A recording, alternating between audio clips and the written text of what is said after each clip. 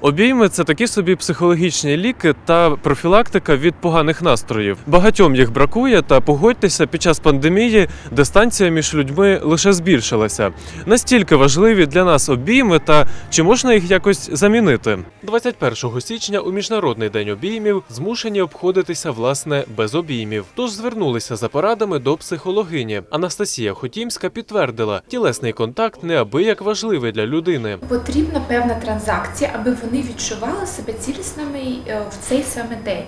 Е, Звичайно, це дуже важко, коли людина, наприклад, знаходиться на самоізоляції і їй е, не можна контактувати з іншими людьми. А чи важливі обійми для дніпрян? Та як із цим під час пандемії? Ми запитали у середмісті.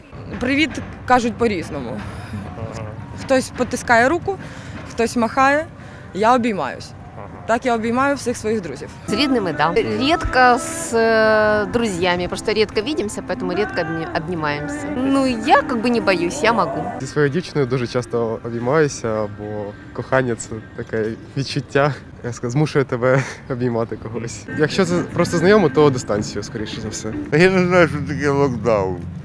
У- От зараз карантин, е, ковід. А, ні, ні, не І з ким не обіймаю. обіймаєтесь? Та А, і з рідними, з друзями, може. Ні. Обійми це більш таке інтимне С з близькими людьми. К сожалению, я живу сама, сын отдельно, но когда приходит, я, я с ним обнимаюсь. Закінчиться локдаун. З ким ви хотіли в першу чергу обійнятися? С семьей, конечно, своей.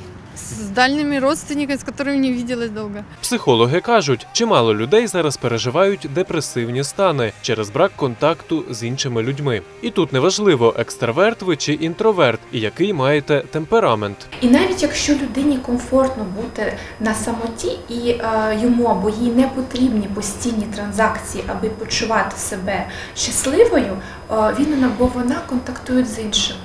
І ця певна депресивність вона все ж таки передається. Ми повинні це розуміти, що у будь-якої людини є близькі, є друзі, з якими він або вона постійно спілкуються, і вони не можуть повністю емоційно відсторонитися від них. В Європі вигадали спосіб, як і під час пандемії обійматися безпечно. Такі станції обіймів встановлюють біля лікарень і будинків для літніх людей. Але не обіймами єдиними. Є ще способи, як проявити свою турботу. Це е, тілесний прояв, це словесні е, вимови, які ми говоримо до людини, це час, це подарунки, це допомога.